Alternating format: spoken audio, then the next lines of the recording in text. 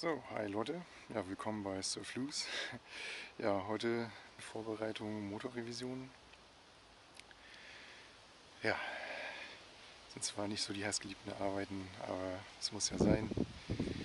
Ja, wenn ihr Bock habt, dann könnt ihr mir mal über die Schulter schauen.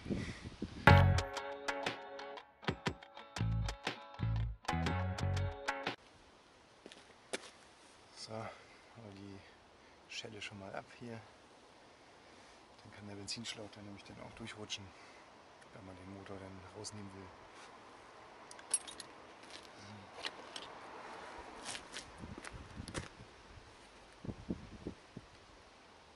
So, dann kann ich nämlich den Schlauch hier, den Kraftstoffschlauch auch hier durchstecken, so weit wie möglich.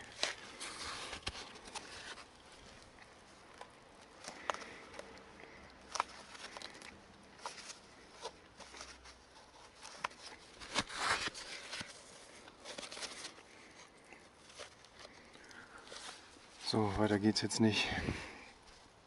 Aber ich denke, das reicht, um den Vergaser bzw. den Motor nachher dann rauszunehmen. So, wir sehen nochmal die Bautenzüge raus.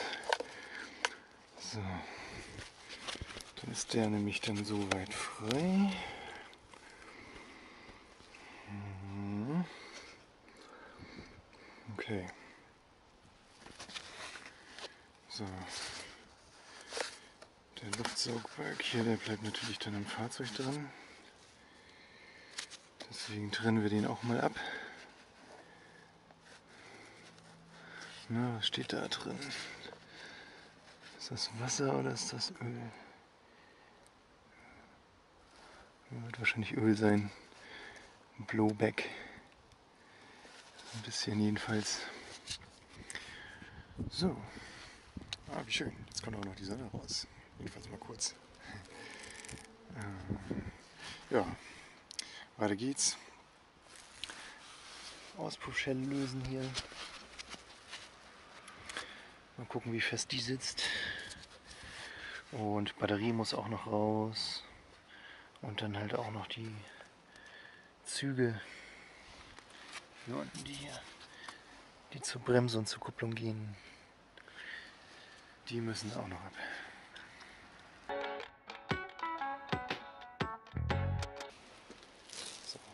Auspuffschelle lose.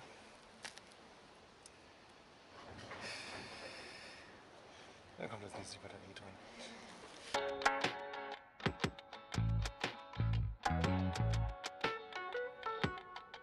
Hier sitzt die Batterie. Wird eigentlich auch nur hier durchgehalten. Muss auf jeden Fall ab. Geht ja auch eine Leitung zum Anlasser. Da sitzt zwar noch Relais zwischen, aber besser ist besser.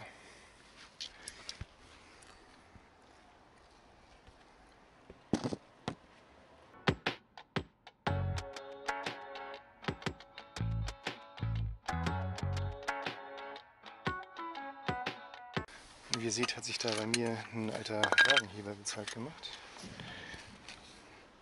Ne, praktisch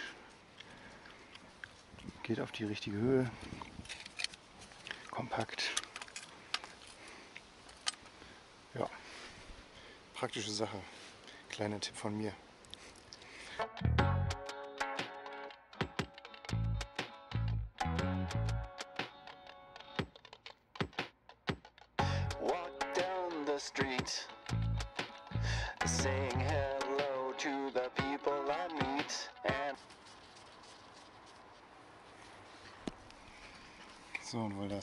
Rad immer schwer rausgeht, wenn, wenn man das Fahrzeug nicht gerade hinlegt, wenn da noch Luft drauf ist, lasse ich jetzt erstmal die Luft ab.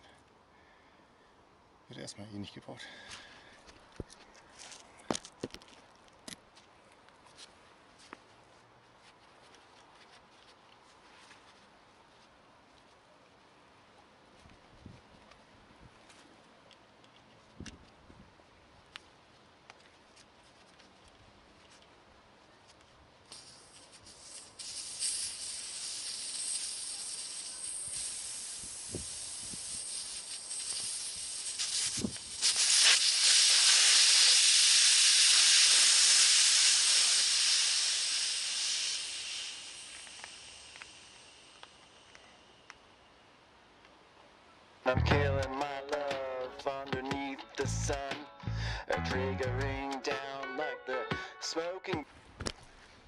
Draußen.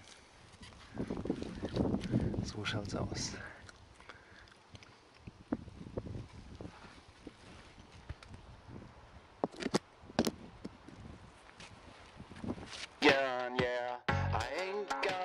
und hier sitzt der Kupplungs-, äh, der Hinterradbremsenzug. Und. Ah, wo ist er denn? Ja, versteckt sich ein bisschen dahinter. Irgendwo hier, jetzt muss ich von der anderen Seite gucken. Da ist der Kraftstoffschlauch. Schön eingesult. no plans, just a rusty voice and an empty gas can. My car's broken down a mile behind, and I've got my life set on rewind, baby. I ain't just a rusty voice and an empty gas can. My car's broken down a mile behind, and I've got my life set on rewind, baby. 7 und 8 müsste das denn sein. Mal sehen. Ja, das sieht gut aus. Uh, da rutscht er wieder weg.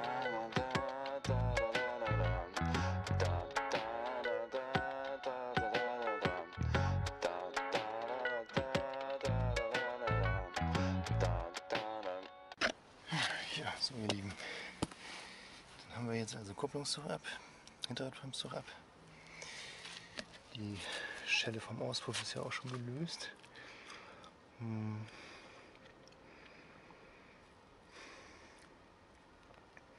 Aber ich glaube, das müssen wir noch mal ein bisschen runterschlagen hier, sonst kriege ich den Auspuff nicht ab.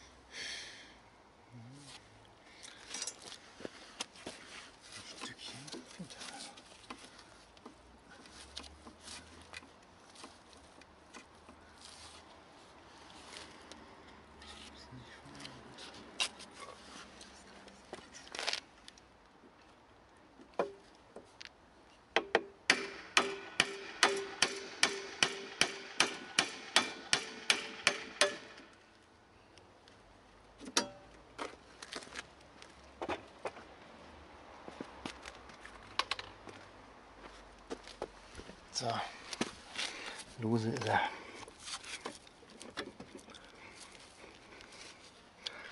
So wie es sein soll. Nur die Züge, die müssen noch aus ihrer Führung raus hier.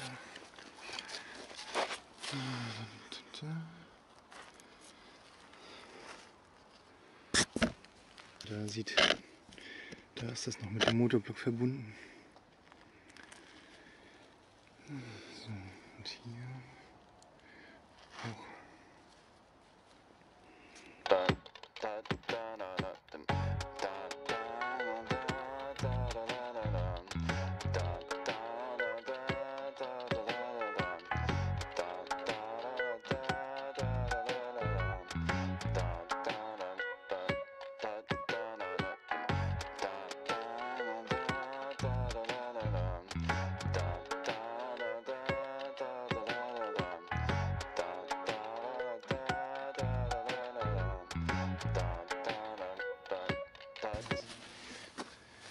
So, dann würde ich sagen, kann die Verbindung hier mal gelöst werden. Können wir den Motor vorsichtig nach unten ablassen. Ja.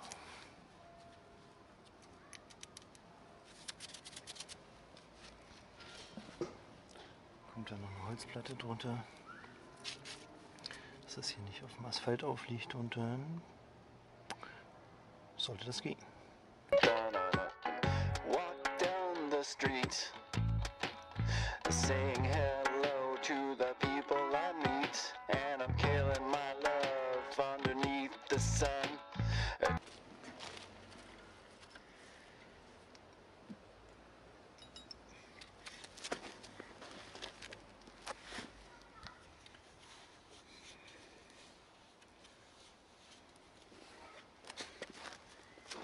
So.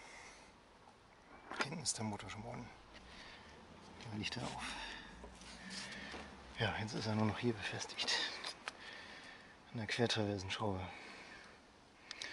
Muss ich nur noch die Schaltraste abbauen hier. Und dann kann es abgehen.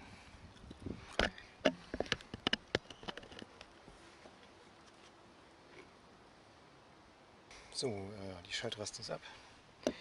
Und die bleibt auch an den Zügen drin. Man kann dann noch prüfen, ob da irgendwie zu viel Spiel dem Hebel hier ist. Ja, ein bisschen Spiel ist da. Aber ich glaube, das ist noch nicht so tragisch. Gab auch noch keine Probleme irgendwie mit der Schaltung. Dann bleibt er nämlich dran. Also die Schaltraste bleibt beim Fahrzeug. Dann erspart man sich so ein paar Einstellarbeiten hier mit den Zügen, dass die Gänge dann auch richtig sitzen. Dann geht es jetzt in die Quertraversenschraube hier vorne. Das ist das letzte, was den Motor noch am Fahrzeug hält. Triggering down like the smoking gun, yeah. I ain't got no plans, just a rusty voice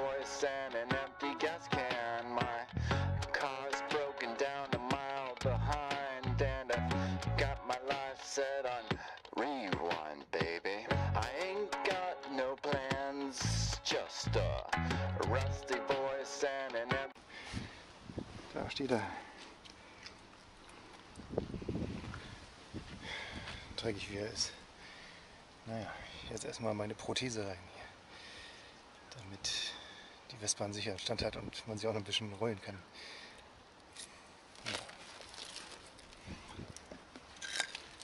So sieht das gute Stück aus.